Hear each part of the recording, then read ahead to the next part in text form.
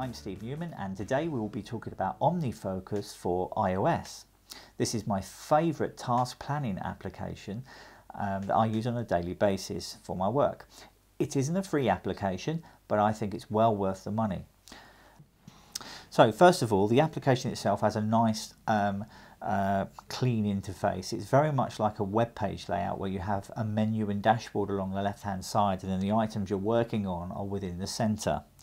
Um, and uh, so on the left hand side if you pull down you get to the settings if we move that back up. But otherwise at the very very at the very top you have your forecast of your tasks that you have in the system. Really easy to see. So you can see that uh, I have one past due um, task. I have two for today that I must complete and three for Sunday tomorrow. And the color uh, gives you that indication of how important these are. And of course if you click on any of those or tap any of those you actually are taken through to the task itself and you can work on the tasks.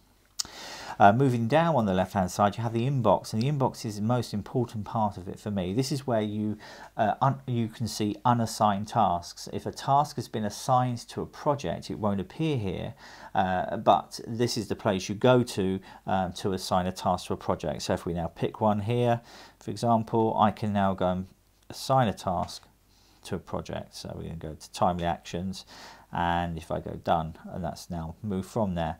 Uh, and if I just go into a task there, just to show you the kind of things you can do in a task, if we go uh, to the info of the task, which is where we are now, you can change the project. Uh, you can change the context, which again, people, places, that kind of thing. And you can also flag the task if you want it to show up as something really important other than a past due, uh, sorry, other than a, a, date which is important to happen, but something to highlight to you. You can also give it a duration. So uh, you can set the task for, I'm going to set this for 20 minutes, and then you can say when, when you want to defer it. So for example, you may not want to really start tracking this task till tomorrow.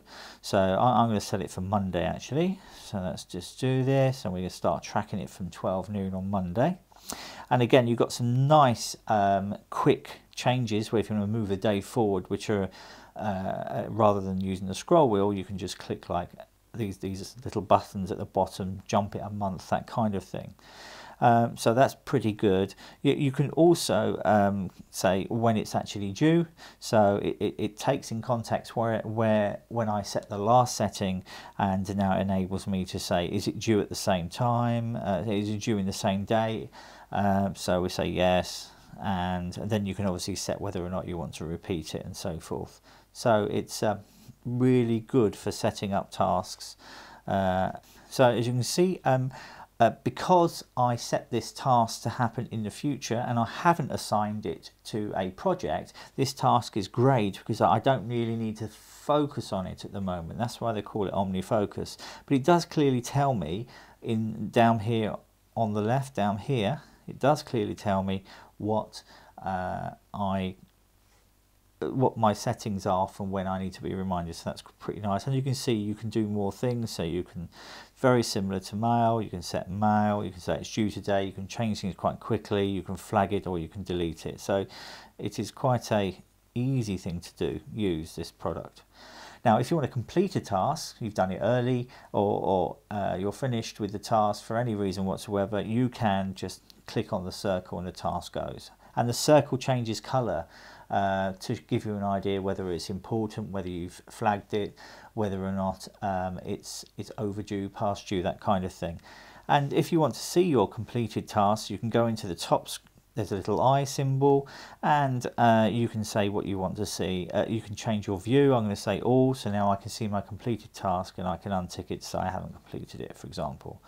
Um, so the way I would use this in a meeting is I, I would, it doesn't matter where you are in the application, basically. So for example, I'm here, uh, i have moved out into context, but, but say I'm in a meeting and I want to record a number of tasks, I can quickly do so by pressing the top right hand corner and then uh, that's the inbox icon and now I can start freely creating a task. So we go task uh, four, I could I could literally just do as much of that as I wanted. I could add the notes into the task. So we go uh, test. Um, and I could press save plus And what that does is that saves that into the inbox, but then allows me to start immediately start typing another task. So in this case, um, task five, and again we can do task six, and so on. And then when you're finished, uh, seven, uh, we can just go save, and that will no longer read the task. If I now go back to home and then into the inbox, you can see that I now have all those tasks that we created before and you can clearly see that because I didn't add any notes to tasks 5, 6 and 7 there's no indicator underneath the underneath the name of the task which you can see there is underneath task 4 which indicates that there are notes and I had notes in there.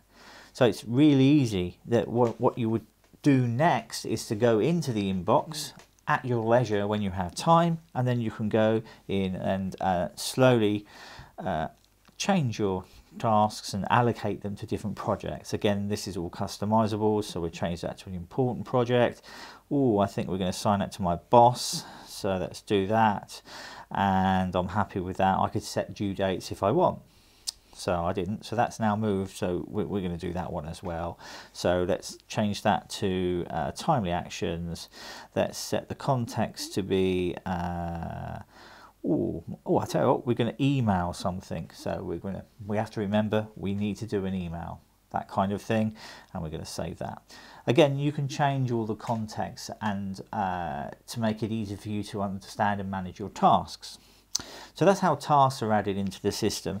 Now, if I now move and look at the dashboard on the left-hand side, um, projects, you get a nice project view, and these are all collapsible by the little triangles. Uh, and you get a nice project view on the left hand side you can see all your projects listed and little dots underneath each project which indicate the number of tasks and the color of the dots in, indicate um, how uh, when the task is due. If it's a red dot, it's past due, uh, uh, and amber dot, uh, which means it's it's coming up. So you can easily see uh, whether you need to start working on tasks and whether or not those tasks are ones you need to start now. If they're grey, they're not due due yet, or they do not have a due date, so you can work on them when you want. So it's nice and easy to uh, look at your, have a simple view of all your projects. As you can see here, I have them all here. I can see at a project level all the tasks that I have. Um, now, with myself in my own database, I have loads of projects, so it's actually an enormous uh, list and loads of tasks. Uh, so um, I use some filtering and so forth, uh, which I'll show you in a moment. So context, I mentioned before, uh, you have um, not only can you create context in this screen, uh, new context, you can you also um, can see the status of any task that's assigned to a context. So it's another way of looking. So for example, we created an email task earlier and you can see that there is one dot next to email. And if I click on that, I now have details of the task that I had. So it didn't matter what project it was in, but this is another way of showing you that I have an email action. And therefore regardless what project it was in even though it was in timely actions I now have uh, ability to jump quickly into that task and manage it. Um, so very easy to see. And you can see I have so many no, no context tasks so that's context. Again you can add your context quite easily. Flagged. Flagged are as it says anything easy to see what's what's flagged.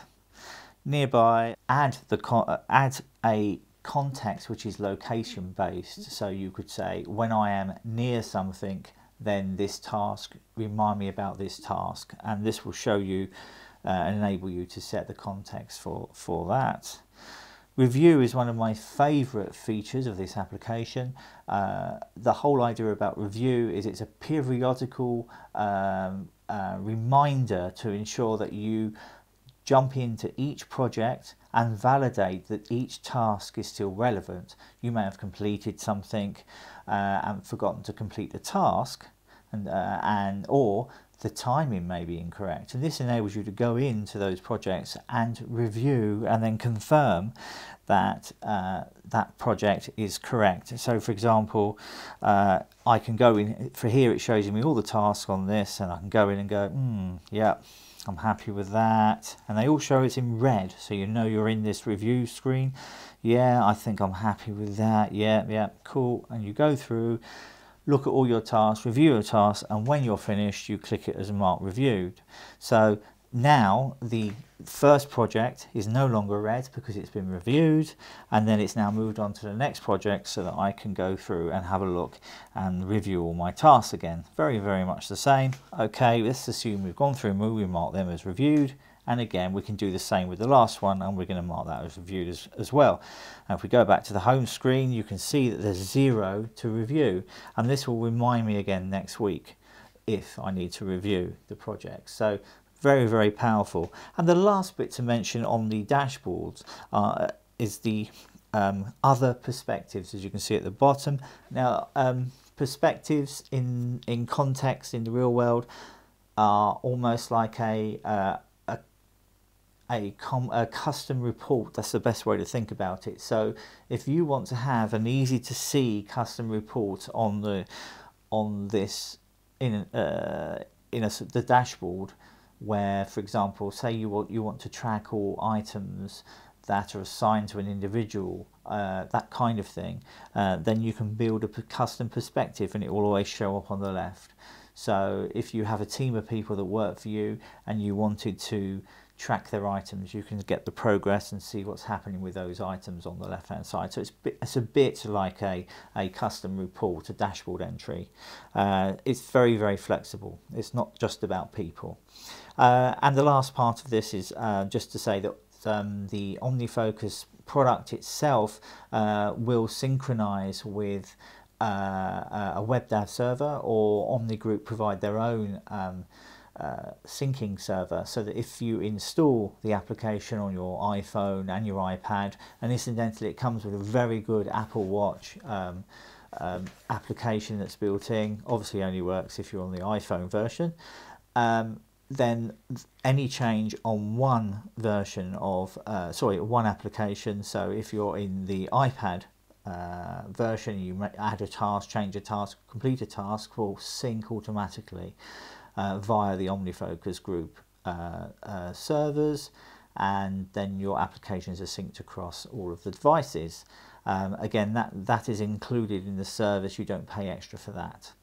Uh, and that's it. If you have any questions uh, about uh, OmniFocus, please leave a comment afterwards. And otherwise, please can you uh, subscribe to my YouTube videos? I, I, I buy these myself. I, I, don't. No one gives me these to review, and uh, it really helps me if uh, you could subscribe and tell other people. Once again, thank you very much.